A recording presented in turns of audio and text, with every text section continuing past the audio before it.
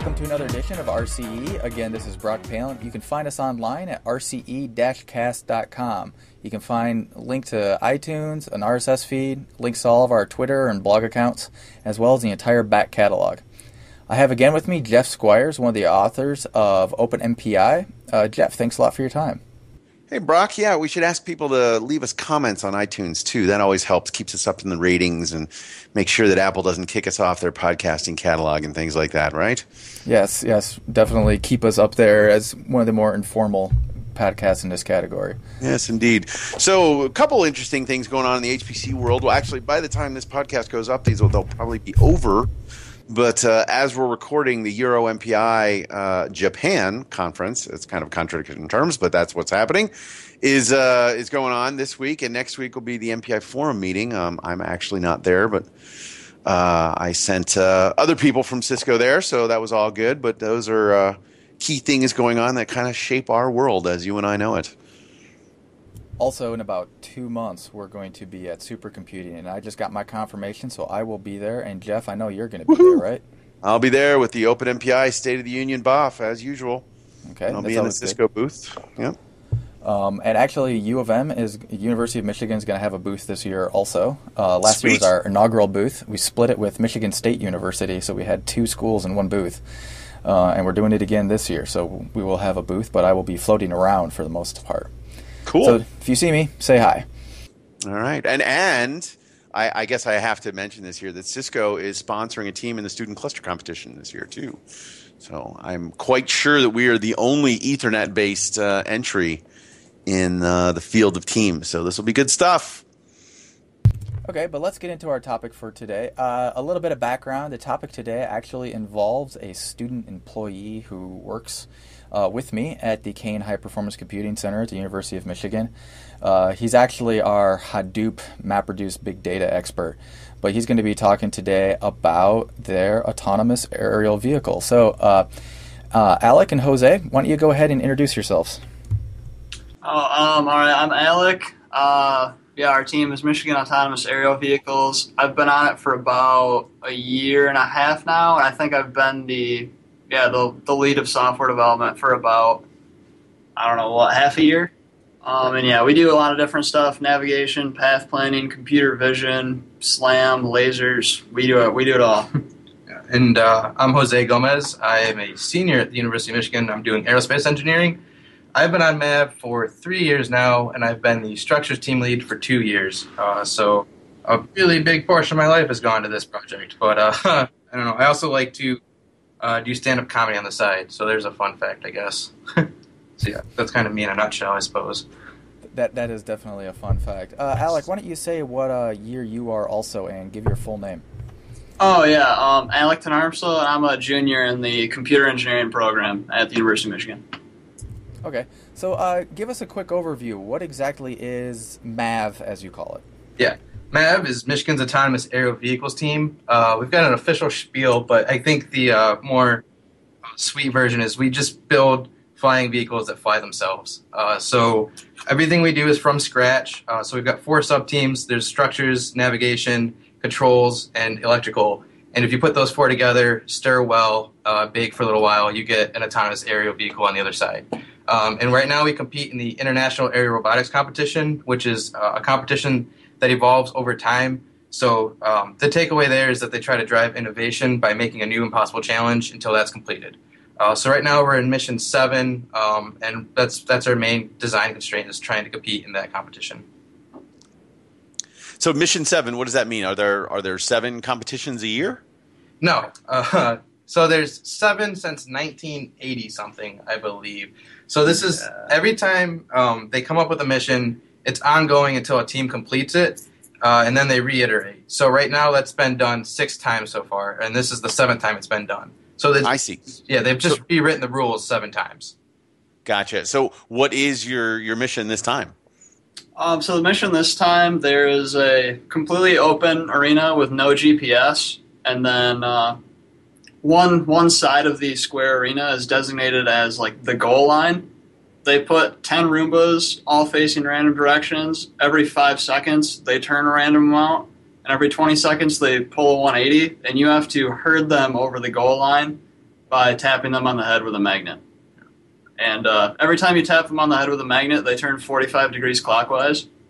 Um, so yeah, just while they're going, you have to figure out where they are and then herd them all over the goal line. And then there are also uh, a few running around with like pillars on top of them, just kind of moving obstacles that you have to avoid. And I think if you even bump one of those, you're uh, eliminated from that run. Ooh, interesting. Now, you said no GPS. What does that mean? They they block GPS signals, so you have to. You're supposed to figure it out just from local vision or something. Oh yeah, it's it's indoors, so there's actually no GPS um, at all. And really, they uh, they put down white tape on the floor. Like there's a one meter grid on the floor, so you know what the arena looks like. So the goal right now is to do a little bit more than than optical flow, which is kind of an emerging localization technology using computer vision. The goal is to go just a little bit beyond that and actually do complete localization using using that. I think uh, one of the nice things about the competition is that it's open ended. Uh, so they tell you what you can't do, but they don't tell you how to do things. Uh, so the reason I like this competition is that um, you know it's up to you to figure out how to how to solve it. And there's only a few viable routes to take, but they don't uh, hold your hand or even have an idea how to do it themselves. So it really is up to the team to figure it out. Okay, so that was the most ridiculous, craziest, convoluted competition I've actually ever heard of. it can I be mean- the Alex description. so if you bump into something, it tur- turns, it turns randomly, it turns on a schedule, and you have to basically herd Roombas that have gone What? crazy. I think a, a really simple way to think about it, you, you just have a square. It's just a 20 meter by 20 meter square with a bunch of little Roombas running around. And uh, it's just like a bunch of toddlers. They're going to do whatever they want. And so, as the parent or the quad rotor, you just need to say, hey, stop running that way by tapping them on the head and saying, go this way instead. So, all you want to do is take these people that are just doing really random things and get them across the goal line before they run out of bounds, basically. Um, and then a little bit extra is to avoid obstacles while you do it. So just really generally, that's kind of the overview, I think. Okay, and so like in the news, you know, we've been seeing all these things about drones and stuff, but a lot of times those are, you know, remote controlled. They're actually just remote controlled things. This is actually autonomous. It's doing everything. You basically tell it to go, and at that point, it's completely on its own, herding all these things around, flying around. Yep. It'd be hard for a person to do this. Yeah, it's absolutely very difficult for a person to do it. Actually, we've we've tried. Okay, so you, you said a quad rotor. So this is like one of those quadcopter things. It's not like a full size airplane, so you can kind of hover around and do things like that. Yeah. Oh, yeah. Okay. Now, how big is that? Oh, is our so, Um, ours specifically is uh, like probably half a meter by half a meter. something about that? Yeah. I think so about that size. It's it's a square because it's a quad rotor, so we, we did that so the math works out a little bit nicer, and it ends up being about a half meter by half meter by probably 20 centimeter square. yeah, yeah, it's not like that tall. Yeah, it's it's pretty small actually. It's pretty compact. Now, do you have to do a quad rotor, or did you guys choose that? No, so um, so the the competition likes to keep as much possible open ended. So vehicle structure is also open ended, and we chose what to go with the quad rotor just because the math works out nicer um, in terms of the controls algorithms. Because we we've been trying to we write our own controls algorithms as much as we can. So in the past, that's worked out a little bit nicer for us. But there are teams who have um, hexcopters and and like just weird number of copters. yeah. All right, so tell tell us a little more about the, the vehicle itself. So it's it's a quad rotor, it's a square. What kind of processing is on there? How much does it weigh? What do you fuel it with? All this kind of stuff. Okay. Uh, so on the structure side of things, yeah, on the structure side of things, we've got four rotors. Um, it's lipo battery powered, and it could run for about 10 minutes um, with pretty aggressive maneuvering in that 10 minutes. It's a custom carbon fiber uh, composite airframe, so a lot of the skeleton is carbon fiber, um, and a lot of that is bought, but we also do some custom layup processes for um, more unique geometry that we have. We also um, and then we've got like our own custom circuit board. But then in terms of computing and stuff like that, Oh yeah, in terms of uh, computing power that we got on there right now, we only have we got a small Intel Atom board provided by uh, I can't remember, but it's way smaller than even Mini ITX. It's only like three by four inches. It's got a dual core atom on it, and we're looking at finding, uh, I guess, co-processors or whatever the official term is to do all the vision work that's required, and that's that's an ongoing process looking for those. So we also have um, a laser on board, a few cameras, and uh, 10 inch propellers. And then when, when all of that's packaged together, it comes out to about 2.2 kilograms right now. So actually, some people say that's really heavy, and some people say it's really light. We think it's really light, but that's because we are struggling to make it any lighter. So that's how we look at it. So that's all packaged on it. It's not like tethered and flying around with like a tether hanging off of it back to a table with all these batteries and stuff. No, that's actually not allowed by the rules of the competition. Your uh, your maximum in-flight dimension can only be 1.25 meters, I think. Yeah. So a tether would go over that if it were useful at all. So yeah, all, Yeah. all of that's on board. You are allowed to outsource computing. So um, in the past we've done this. You'll have the computers talking over Wi-Fi to a ground station to do some of the heavier lifting compute computing wise. Um, but this year we're or well um, this iteration we're trying to do everything self-contained. So no offboard processing or anything. So why do you want to do that? Oh, uh, this year, so last the last competition, the main focus was on slam using lasers, and that's not really super data intensive. Uh, this year, though, it's all vision based, and we would like to have. I mean, we need a lot of cameras to be able to see that, and streaming all that video over Wi-Fi just it's not going to work. Gotcha. That makes sense. What what's slam? Simultaneous localization and mapping is that what it Oh, is? man. Yeah, yeah. It stands for simultaneous localization and mapping, and it's a it's a way. I don't. I didn't. I wasn't the one that wrote the implementation that we used, but uh, it's a way to create a map and update it and know your position all at the same time. Yeah, using by comparing um, scans from your laser. So we had a laser on board, Yeah. a lidar system, and so just by um, looking at different snapshots, you can get a lot of information about like your heading and your surroundings um, by comparing pictures, basically. Gotcha. And and so somebody did that, and that that was mission six, and this is now mission seven. Yeah. So uh, part of mission six uh, was heavily emphasizing just indoor. So okay, we mentioned there's no GPS. That was kind of the big hurdle of the last competition. Was GPS localization was kind of understood at the time that it was written. So they wanted somebody to implement indoor localization without that. Um, and so uh, it was up to the team to develop that system however they wanted. We went with the LiDAR approach, partially because it allowed us to collaborate with different labs at U of M, and also because um, laser scanners are pretty convenient in a lot of ways. And they're just absolutely perfect. Yeah, they're, they're tremendously accurate and, and just really good in a lot of ways. yeah. I think the uh, yeah the laser that we have has like millimeter accuracy. Yeah. And like a 30 meter range and just like crazy stuff like that. So it was just perfect for what we were trying to do. So was this like a mini version of like those architectural scanners? It's just like spinning a prism and it's just kind of like drawing dots and you're kind of interpolating a surface. Yeah, yeah, we did all of the. Uh, I mean, our software did all of the interpolation and stuff like that. But um, yeah, that's really all. It's just a spinning prism. I don't. I don't know about the uh, architectural versions or anything like that. But we had a little. I mean, pretty small thing. It Yeah. definitely fit in the palm of your hand. I think it was like 700 grams or something. Probably less than that. I don't Yeah. remember anymore. I don't remember that number. yeah, I don't know, but it was it was really small and it was pretty cool. and it's pretty low power, which is a really big deal when you're running on batteries. So Yeah, You can tell you guys are flight people because every piece of equipment you're like, yeah, it's 700 grams. You know exactly how much it weighs down to the Well, gram. yeah, there was a really strict mass budget in the last competition. We had to be like under 1.5 kilograms, so it, it equated to just drill holes into everything. oh yeah, when we uh, when we actually got the Atom at first, it has this massive heat sink on it. yeah, when we were running, we were packing to go to competition. We were leaving in like what an hour, yeah, and one of uh, one of the guys on the team just took the heat sink and went to the drill press and just drilled out as much as possible. yeah, and took it to the mill and just like took a bunch off. We that we we shrunk the mass of that heat sink by a lot. it was good.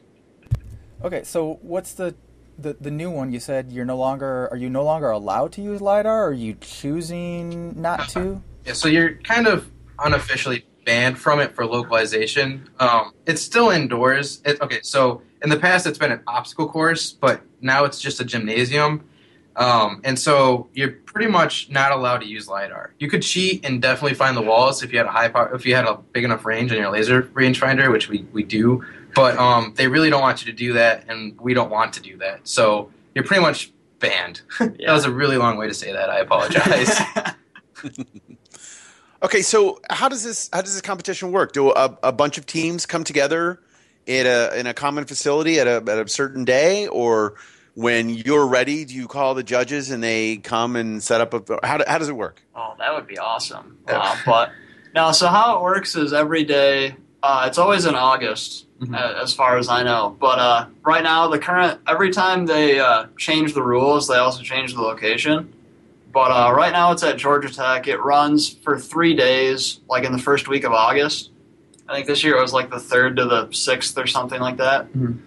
Um, but yeah, everybody, all the schools that participate, just go down there, and then uh, the first day is just kind of you do presentations and get uh, inspected, make sure your safety stuff works, and then the second day is competition. Yeah. So. Yeah, there's some formal deadlines you have to meet. They actually um, require a formal technical paper as well. So there's static judging, and then there's the actual um, performance in the competition itself. So, uh, but everybody convenes in one common location for the event how many schools competed?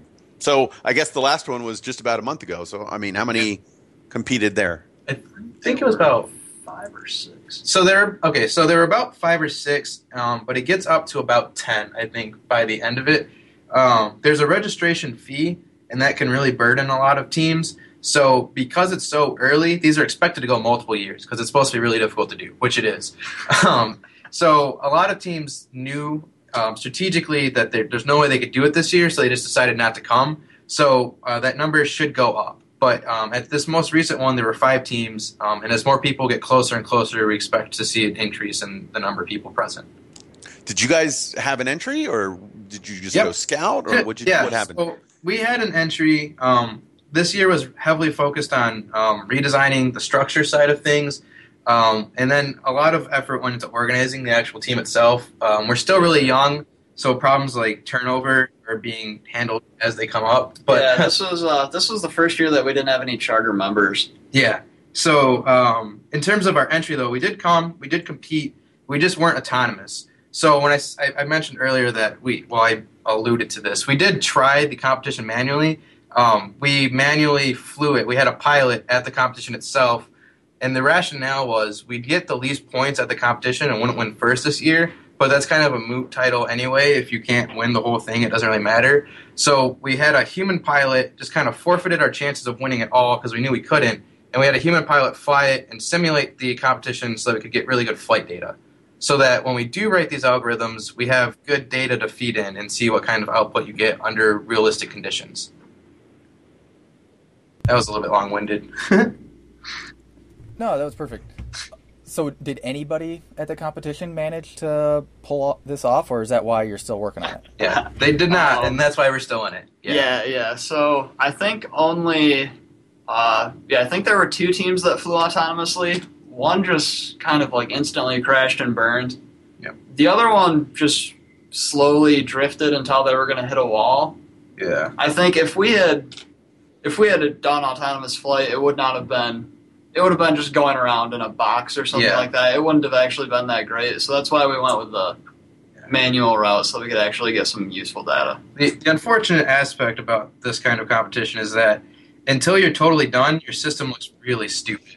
and so, you know, when we talk about, you know, how other teams, when they were flying autonomously, you know, achieving anything autonomously is in, in and of itself like oh, an accomplishment, yeah, right? so we shouldn't trivialize what other people have done. It, it just sucks that to an outside observer, especially one that's not real up on these things, your system looks absolutely stupid until it actually does the whole thing. So it's kind of a, the curse of the trade, I suppose. so um, it's hard to judge how sophisticated these systems were just from our viewpoint because. Oh yeah, even just going in a straight line autonomously is ridiculous. Yeah, like unless you can look at their code and figure out how far they are. It's hard to guesstimate how close these guys were. But there were attempts to do some things autonomously this year. Now, just to go back one more thing on the on the logistics, what are the allowable uh, age or or school year experience? Uh, who's allowed to compete? Yeah. Uh, there's no. Okay, so I think it's Uh, as long like as you don't know the rules. No, do you actually know the actual? Yeah, okay, yeah, I yeah. You just say it actual then. answer. I was gonna guess. oh no no no. Okay, so the actual let's see. According to the rules, at least half of your team needs to Yeah. be university students. I was gonna say that. Oh, you were? yeah, that's Okay. what I was gonna say. So, anyways, other than that, um, and it doesn't matter what level, just somewhere in the college. So you can also, I mean, we have a couple. We had two high school students over the summer, I Yep, think, yep, that we were uh, one of them was software and the other did structural stuff. Mhm. But you can, uh, I mean, you can partner with industry and stuff like that as long as at least half of your team Is is university. college students. Yeah, Interesting. And- so, Yeah. Jose, you said you're you're a senior this year, so assuming that you're going to graduate, Yep. are you going to be able to see the end of this?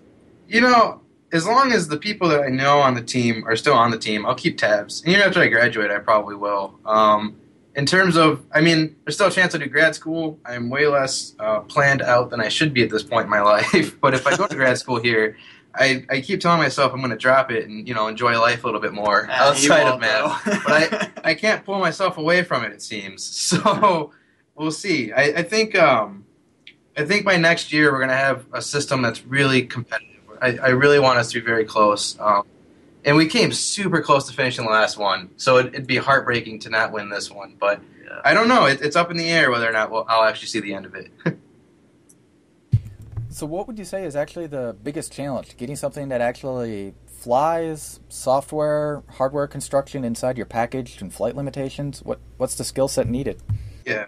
Oh man, the uh, I don't know. The biggest challenge by far uh, that I can see is there's there's two big software problems that have to be solved. Uh, the first one is like localization. Actually, I guess there's three big software problems. the first one is uh, localization in the arena. You need to know your uh, position really well, and that's not that hasn't really been done before using cameras at all. Yeah. Um, and then there's the the second big software challenge is kind of figuring out which Roomba you actually should go to and make it change its direction. That's going to be pretty hard. Yeah, Uh, prioritizing which targets next. Yeah, yeah, trying to prioritize which one's next. And the third one is the controls problem because this 20 meters by 20 meters doesn't really seem that big, but it's actual it's actually really large and having something, I mean our pilot was pulling really aggressive maneuvers just to even attempt to do that stuff like that. So having really aggressive autonomous control software is also going to be really hard. Um, yeah. In terms of the structural design, um, as much pride as we take in doing things ourselves, it's kind of just to feel good. Because to be honest, as long as we get the software there, we could put it on any system.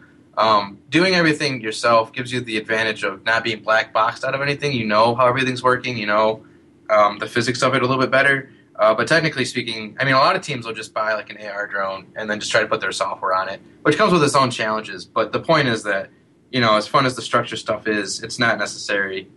Yeah, it's not really necessary, I guess, in some ways.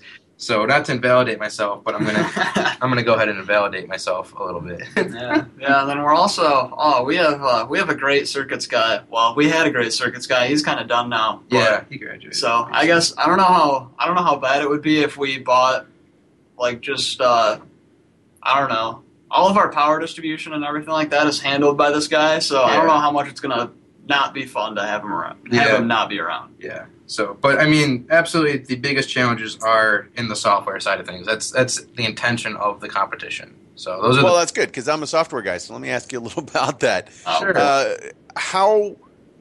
What what language do you write in? Uh, Do you write C code or something else? we uh we used to use Java and then I took over and then now we use C++. yeah, it turns out Alec is the largest just snob about. he, he's just like an elitist about everything he does. That is 100% accurate. no. Okay, so actually, here's something that uh, typically galvanizes computer scientists. What version control do you use? Oh, well, that's. I mean, we use Git. Honestly, okay, actually, for the software, we use Git. We also use Subversion for CAD and Yeah. for other stuff like that. That's for the dumb structures folk who don't know how to use computers so good. yeah, they have pretty Tortoise SVN and Yeah. everything like that. Alec looks down on us, rightfully so. Pretty much. Okay, so are you the only guy working on the software? Because I, I heard you know three major sections of code there that are fairly autonomous and orthogonal from each other. Is it is it just you, or are there more people working on the software? Oh man! Uh, over the summer, it was pretty much just me, and then Well, that. it's misleading, okay? Because he's also including controls. So first, Oh, we should- just then. Yeah. we should we should let you know that we differentiate controls and navigation. So controls is lower level. How do I navigate my environment at all? If I want to be there, how do I get there with my motors? And then navigation is higher level.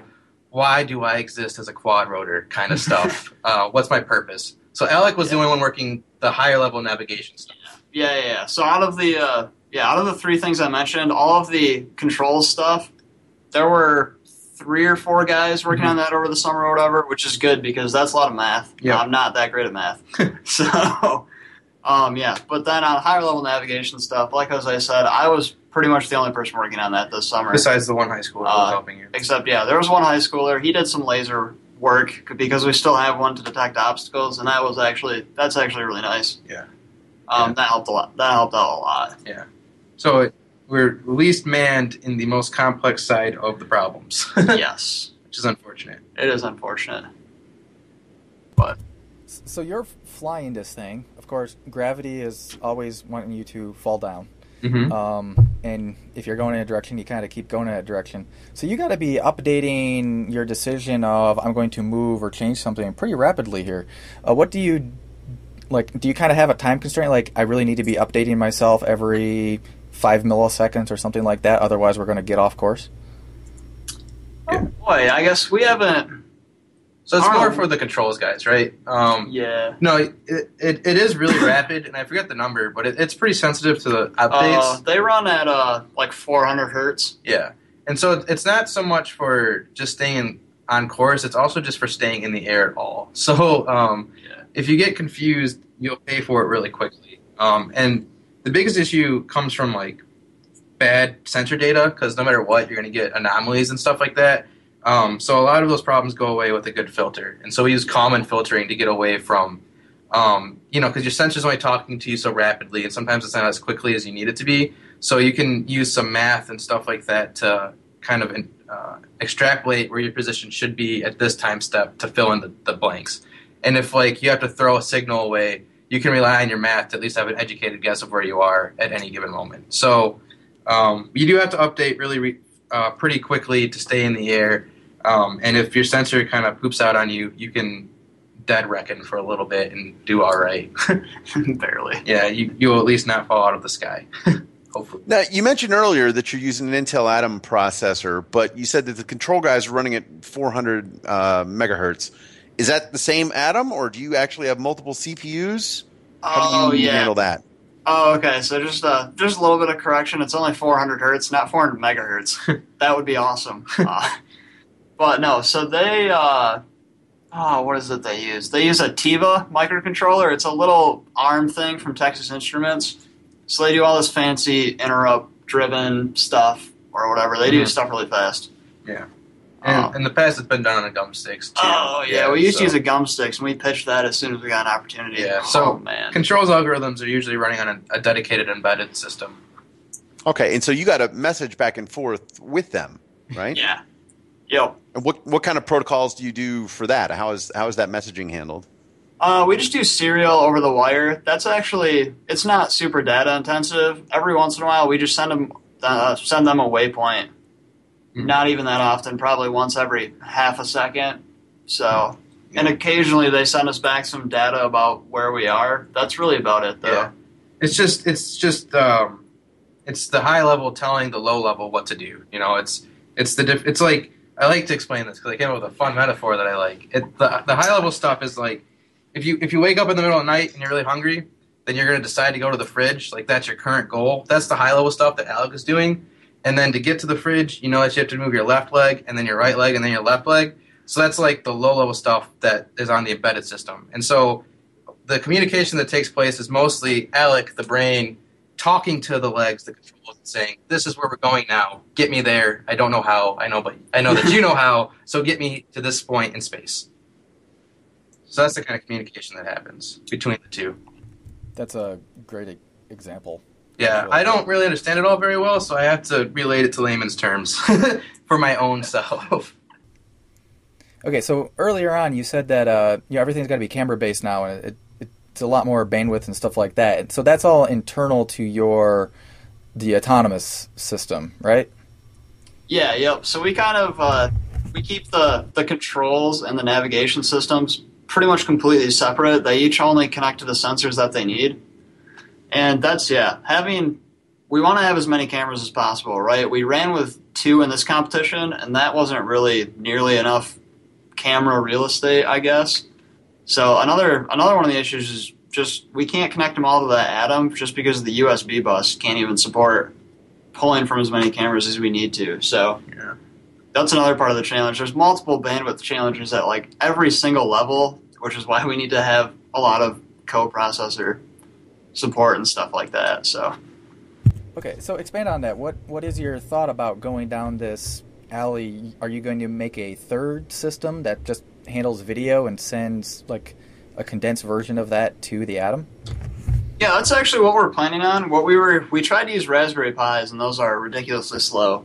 Um, we're kind of we're testing some other stuff out right now, but the idea is to have each camera or each pair of cameras get processed at one thing, and the only information we need from the images is whether or not there's a Roomba in the frame uh, and where the lines are, and that's pretty. Uh, that information can be dense quite a bit, right? If you say, "Oh, here's a Roomba and here's the location in the camera frame," I mean, that's just uh, a couple floating point numbers and then something to tell you that it's a Roomba. And same thing with a line. You just need to transmit the endpoints of the line. And uh, the color is important because that's how you differentiate what's a goal line and what's not. So that's really the only information we need. So bandwidth from uh, whatever's processing the camera to the Atom, the central navigation system, is actually not really that big of a deal we don't really need that much information.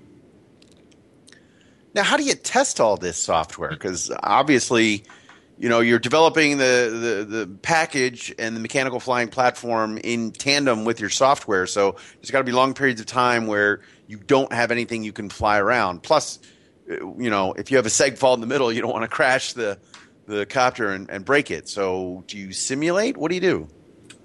that's a Yeah. uh, that's another great question. So that's that's kind of another reason for the completely separate systems is that navigation will, I mean, probably do a lot of crazy stuff a lot of the time. So controls is completely separate for that reason, just so that when we mess up on the navigation side, it doesn't fall out of the sky. Yeah.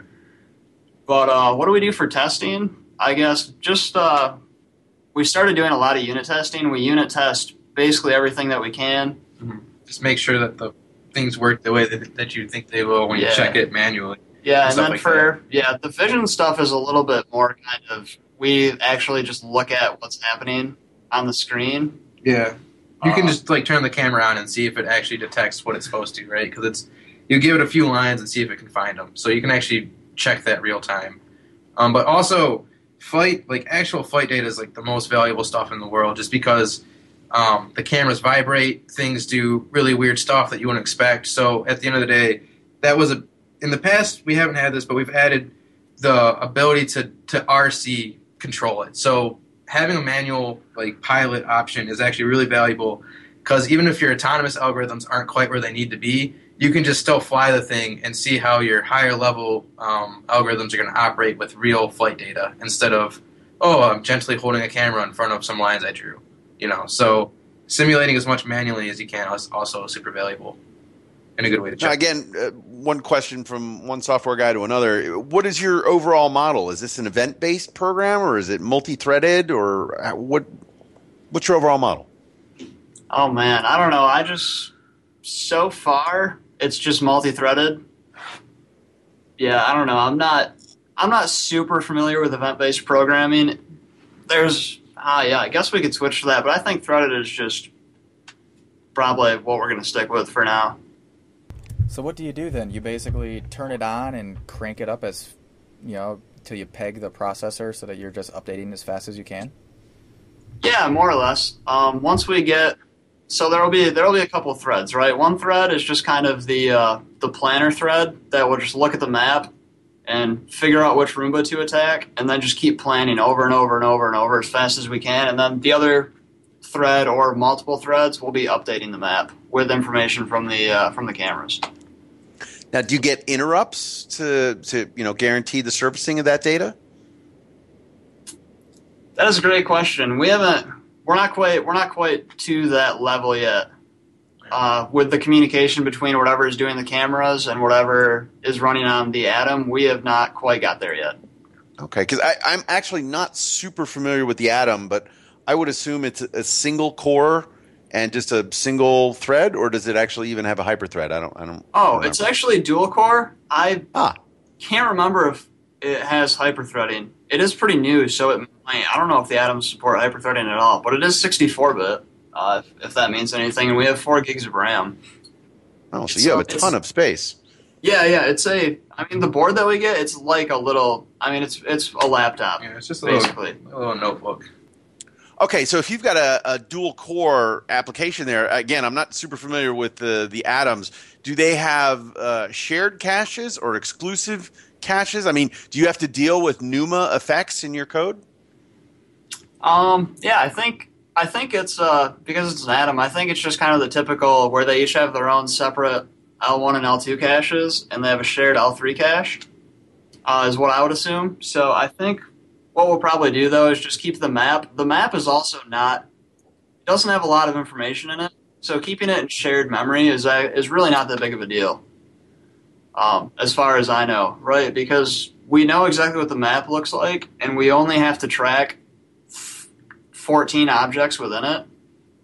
So it's not even going to take up that much memory. It's only going to take up maybe a meg of memory. So updating it and controlling access to it with uh, just a single mutex isn't even a problem. Unless we really need to go fast, which I can't foresee needing to go insanely fast on the navigation side. So, what would you say the applications of this would be for you know commercial world? So, yeah, the, the competition always sounds a little bit contrived, and so it's a, it's always actually a pretty common question. Um, the applications of autonomous vehicles, it kind of depends. I think one of the more immediate goals, or one of the more immediate low hanging fruits, would be like commercial inspection, uh, stuff like that. Kind of anywhere it's difficult to put a person, you could put a quad rotor or something similar instead, so that you just kind of remove the person element, which could make like bridge inspections cheaper, like sewer inspections, stuff like that, um, a little bit cheaper and more accessible. And then um, more long term, I guess I'm not the I don't have my pulse. Ironically enough, I don't quite have the pulse of the UAV industry as, as much as others, so it's hard Oh, for I me don't to think say. anybody has the pulse of the UAV industry. Yeah, it's tricky, but um, I mean, there's the Amazon thing, which you know, honestly, Yeah. that's one, that's not even hard to do. Technically speaking, that's like a solved problem. done, It's just how do you not kill kids with And- that? Is I think the issue they're trying Yeah, to tackle. How do you ensure it and all that stuff? Yeah. So um, there's, I mean, there's a lot of applications for being able to explore with these kinds of things, um, and I like that. You know, we're, we kind of prove that you don't just need autonomous air vehicles to kill people. you know, they're, they're not just militaristic in nature. Um, and I'm not a business guy, so it's hard for me to say what the commercial applications are. But I know there's a startup that is doing like civil inspection and stuff like that.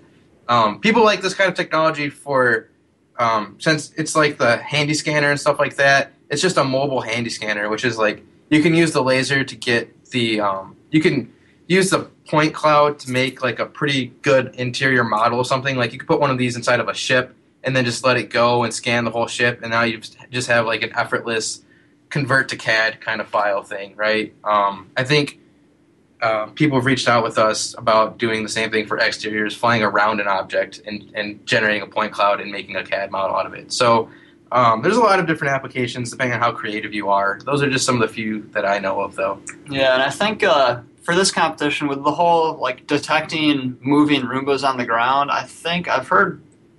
I'm not really sure. I know there's other competitions that focus with tracking humans. I think something that they want to do is more like an automated, like automate the search part of search and rescue, Yeah. and maybe even be able to kind of direct people Yeah. uh, that are like lost in the woods or whatever. You can kind of direct them to an area where they could be airlifted or something Yeah. or even uh, even for the military, kind of. I don't know, being able to direct troops with them somehow. I think Yeah. those are some of the more goals of this competition. We actually almost got involved with another competition, Alec and I, um, for the World Wildlife or Oh, Wildlife Conservation UAV Challenge. It was Yeah, basically yeah. design a drone that can um, patrol the um, safari or the wildlife reserves in Africa from poaching and like detect poachers and stuff like that. So Yeah, and then scare them away. Yeah. It was actually sounded really fun. yeah, so there's a lot of different cool stuff you can do. So you said that uh, someone has actually reached out to you once about scanning something. Has any of the team members like started companies, or have Yeah. you guys kind of consulted or anything like that? Yeah. so we get approached with commercial um, offers. Like not offers. Basically, people are looking for volunteer work, and they know that we're pretty good at stuff. So like they'll ask us if they can, if we can consult with them, but we're not sure on the logistics, like, legally speaking. So we usually reject, Yeah. politely rec- decline. But we do refer them to the startup that came out of this. So um, one of the, I guess, three of the charter members of the team went on to start a company, um, SkySpecs LLC, um, and they're they're trying to get into commercializing these drones um, for things like I was talking about earlier, civil inspection, uh, windmill inspection, bridge inspection, sewer inspection.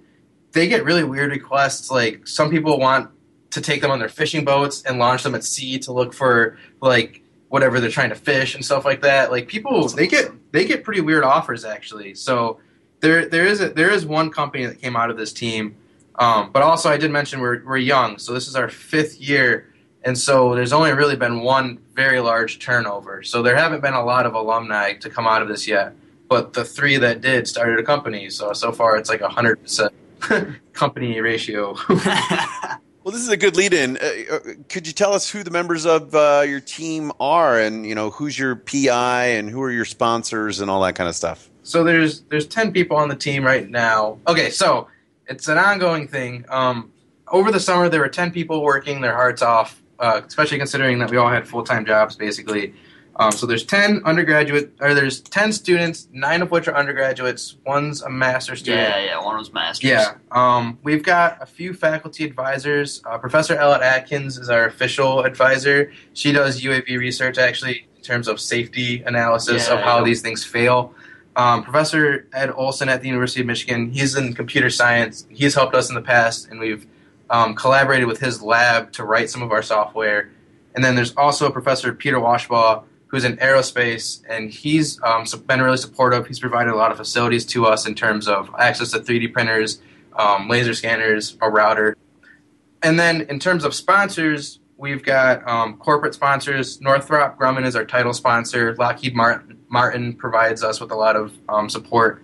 And then we also have the College of Engineering um, supports us, and we have um, each of the departments. So the computer science department, U of M, the aerospace department, and the electrical engineering department all give us support as well. So we've got a lot of um, fans, I guess, and a lot of support on the university end, um, which is really helpful.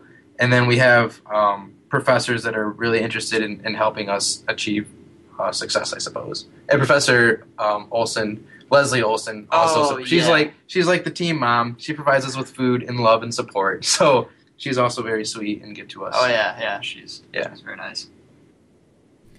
Okay, so say I'm a student at a school listening to this, and I want to get a team started at my school. How does someone go about doing that? Oh boy. That's a good question, especially because we didn't start our own team. We joined a team. Um, I think the most important thing is to first just find a few people who, who have a similar interest. Uh, You know, we're actually a pretty small team, and I think a lot of our work's been done with four or five people.